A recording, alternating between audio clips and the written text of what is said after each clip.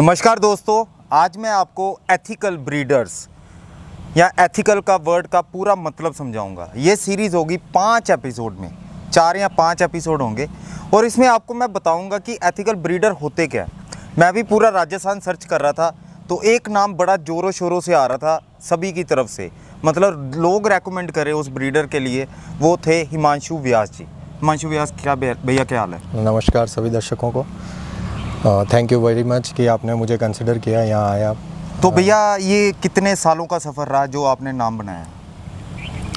मैं दर्शकों को बताना चाहता हूँ कि मेरा नाम है डॉक्टर हिमांशु व्यास और मैं एक वेटनरी पोस्ट ग्रेजुएट हूँ यहाँ पे प्रैक्टिस करता हूँ उदयपुर में। साथ में ही ब्रीडिंग मेरा पैशन है हॉबी है। एज अ ब्रीडर मैं कुछ ब्रीड्स अपने पास रखता हूँ ब्रीड करता हूँ और उनको शो होम्स में प्लेस करने की कोशिश करता हूँ। ऑल ओवर इंडिया मैं अपने डॉग शो डॉग्स को शोज़ में पार्टिसिपेट करवाता हूँ और वेट एज अ वेट मैं सभी का ट्रीटमेंट में हेल्प करता हूँ और साथ ही ब्रीडर्स जितने भी हैं ऑल ओवर इंडिया कुछ ब्रीडर्स जो टच में हैं मेरे वो मेरे से ऑनलाइन और इस तरीके से टच में रह के उनका मैनेजमेंट ट्रीटमेंट और प्रिवेंशन के बारे में उनको गाइड करता हूँ। तो भैया ये आपका जो ब्रीडिंग का लाइफ स्पैन है मतलब कब से स्टार्ट है ये? टू तक uh, मैं एनिमल वेलफेयर में था और मैंने अपनी एक संस्था बना रखी थी जयपुर में और वहाँ मैं स्नैक रेस्क्यू और crocodile rescue, wild animal rescue और एनिमल क्रुएल्टी के अगेंस्ट काम करता था। 2009 के बाद में जब मैंने स्टेट गवर्नमेंट ज्वाइन किया एज अ वेटनरी ऑफिसर, उसके बाद में वाइल्ड लाइफ से थोड़ी दूरी हो गई। बाद में मैंने अपना जो सेकंड लव है, डॉग्स, उसको as a passion carry on किया। और 2010 से आ, मैं ब्रीडिंग कर रहा हूँ। 2012 में मैंने अपना कैनल के के अंदर रजिस्टर किया जिसका प्रिफिक्स है स्टैलियंस और स्टैलियंस कैनल की शुरुआत 2012 से करी। लमसम 10 साल हो गए हैं ब्रीडिंग 10 साल हो गए। दोस्तों 10 साल एक्सपीरियंस और आप नीचे कमेंट कर सकते हो जो आपके इनका नंबर भी होगा जो आपकी सीरियस प्रॉब्लम है पेट की। कोई भी पेट हो आप इनसे डिस्कस कर सकते हो। और इनकी जो ब्रीडिंग है किस किस चीज़ की ब्रीडिंग आपकी इस टाइम पर? सर, अभी हाल फ़िलहाल ब्रीड जो है डिफरेंट है। हम लोग कोशिश करते हैं कि हम कुछ अनयूजुअल ब्रीड्स रखें। शुरुआत हमने रशियन बॉर्जोई से करी, जिसको हमने इंपोर्ट किया था रशिया से। और उसको हमने डॉग ऑफ़ द ईयर के लिए खिलाया और वो कंटेंडर था उसमें। He was number three dog in India later on हमने एक फ़ीमेल परचेज़ करी मॉस्को से, और फिर उसे ब्रीड किया। उसको यूज़ करने के बाद में हमने उसके पपीज़ तैयार किए, उनको भी शो किया।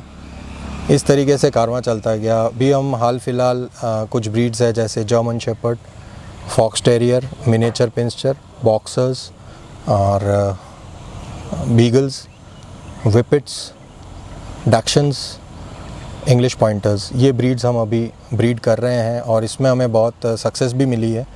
आ, हमने कुछ विपिट्स और डैक्शंस हमारे आ, बहुत ही नामचीन हैं कंट्री के अंदर। और खुशी की बात यह है कि अभी हम रिसेंटली हमने हमारे डैक्शन का एक पपी इटली एक्सपोर्ट किया है जो कि एक ब्रीडर को दिया है शेरा पर्डिनी नाम है उसका।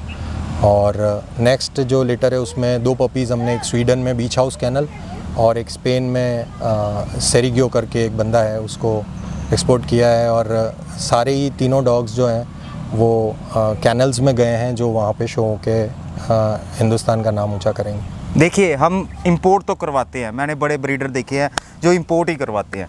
और, मुझे एक एक्सपोर्ट करने वाला ब्रीडर मिला जिसने इंडिया का नाम रोशन किया। मतलब वहाँ पर वो जब वो शो करेगा तो उसमें ब्रीडर का नाम हमारे इंडिया का आएगा। ये होती है ब्रीडिंग आइए, पाँच एपिसोड इनके नाम करते हैं। दो दो दिन के गैप में हम डाल देंगे। कहते तो हम यही हैं कि डाल देंगे, पर इस बार डालेंगे। और हिमांशु भैया से आप कोई भी क्वेश्चन करना चाहते हो तो नीचे कमेंट कर दीजिए। आइए इनके डॉग्स की तरफ़ बढ़ते हैं तो भैया, सबसे पहले आपने जो ब्रीड पकड़ी है विपिट, इसका हमें बताइए विस्तार से कि विपिट है कहाँ की और क्या इंडिया में इसका फ्यूचर है? एक्चुअली विपिट जो ब्रीड है, ये इंग्लिश ब्रीड है। इंग्लैंड से इसका ओरिजिन हुआ था। अब तो ये वर्ल्ड वाइड मिलती है।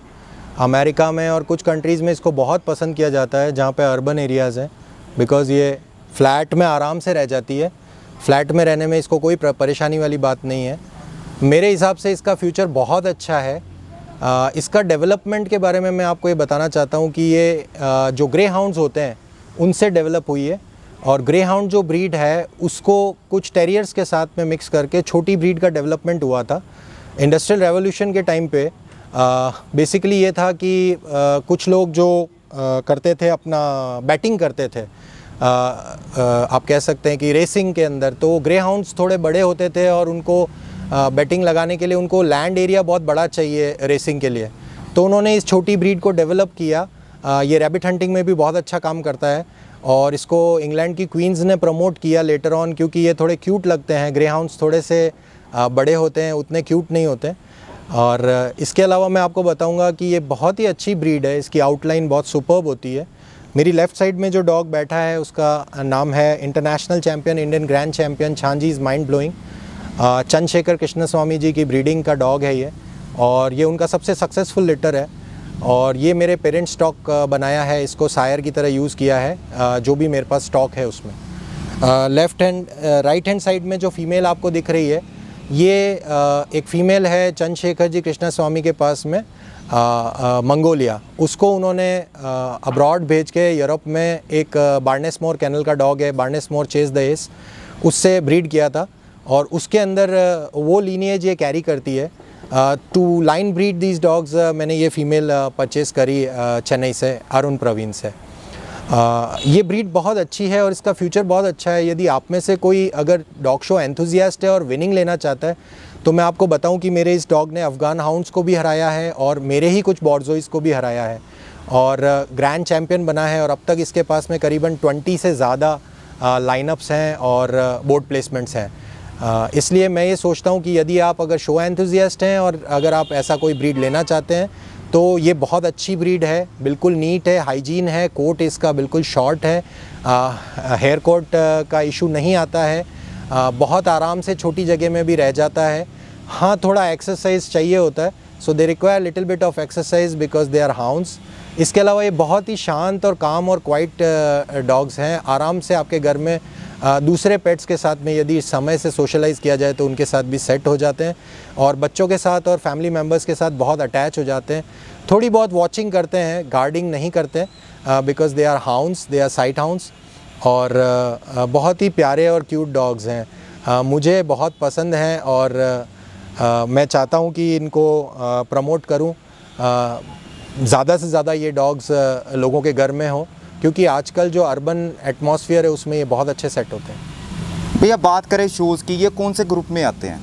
ये बेसिकली ग्रुप टेन में आते हैं एफसीआई सिस्टम के और ग्रुप टेन में साइट हाउंस में इनको शुमार किया गया है। तो इनके कंपटीटर कौन से होते हैं इनके कंपटीशन में अफ़गान हाउंस रशियन बॉर्जोइस और इंडियन ग्रे हाउंस ये सॉरी ग्रे हाउंस और जो इंडियन साइट हाउंस है उसका इंडिया में जो के सिस्टम में उसमें इलेवेंथ ग्रुप बना हुआ है।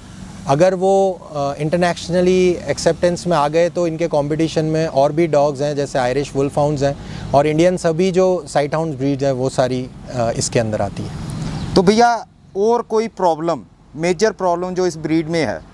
इस ब्रीड के अंदर जो मेजर प्रॉब्लम मुझे लगी है वो ये है कि अगर आप इसको एथिकली और जुडिशली ब्रीड नहीं करेंगे तो आपको मोनोरकिड पपीज़ आने का चांसेस ज़्यादा होता है। बाकी इसके अलावा ना तो इसमें मेंटेनेंस ज़्यादा है ना और कोई दिक्कत है। ग्रूमिंग की भी दिक्कत नहीं है मेंटेनेंस की भी दिक्कत नहीं है।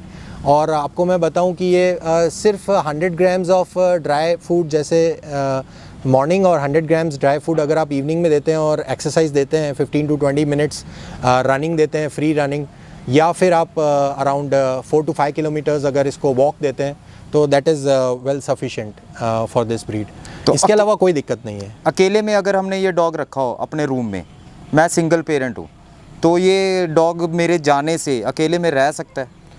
सर Uh, वो तो एक प्रॉब्लम है जो कि बिहेवियरल uh, इशू है जिसको हम बोलते हैं सेपरेशन एंगजाइटी और वो कोई भी डॉग के अंदर हो सकती है। यदि आप बचपन में उसको अच्छे से वेल ट्रेन करेंगे सोशलाइज करेंगे तो ऐसी प्रॉब्लम्स नहीं आती है। क्योंकि मैं खुद जॉब करता हूँ और मेरे डॉग्स कैनल्स में अकेले ही रहते हैं, मेरी एब्सेंस में। लेकिन जब मैं आ जाता हूँ वापस then I make them free है और फिर वो मेरे साथ घर के अंदर पूरे घर में घूमते हैं और घर में रहते हैं।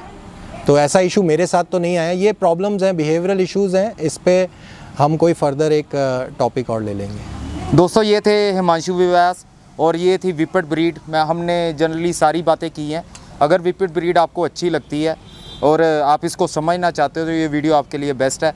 क्योंकि ओरिजिनेटेड अगर किसी ने ब्रीड किया हो तो उसको ज़्यादा ब्रीड के बारे में पता होता है। बिहेवियर इसका बिल्कुल अच्छा है। और बाकी शॉट तो आपने देख लिए, पतले रहते हैं। ग्रे हाउंड का छोटा सा रूप है। और ज़्यादा मसल मसल वाले डॉग हैं। ज़्यादा फैटी तो होते नहीं भैया ये। इनमें आपको डाइट में स्पेशल ध्यान रखना पड़ेगा। अगर आप इनको अच्छी एक्सरसाइज और प्रॉपर डाइट नहीं देंगे तो फैटी होने के चांसेस होते हैं। और विंटर्स में थोड़ी इनकी केयर ज़्यादा करनी पड़ती है यदि आपके एरिया में सर्दी ज़्यादा पड़ती है तो। चलो थैंक यू भैया इस वीपट की ब्रीड के लिए इन्फॉर्मेशन देने के लिए। होप ये वीडियो अच्छी लगी हो। आपको अगर अच्छी लगी है आप कोई भी क्वेश्चन हो तो आप नीचे कमेंट कर सकते हैं या हिमांशु भैया का नंबर है तो आप इनको कॉल भी कर सकते हैं। थैंक यू दोस्तों। मिलते हैं किसी और वीडियो में। नेक्स्ट वीडियो हम किसके ऊपर बना रहे हैं। डैशंट के ऊपर। तो नेक्स्ट वीडियो हम डैशंट के ऊपर बनाएँगे। All the best thank you भैया और इस ब्रीड को ऊँचा नाम मिले इंडिया में। इसके लिए हम बेस्ट विशेज़ करते हैं आप थैंक यू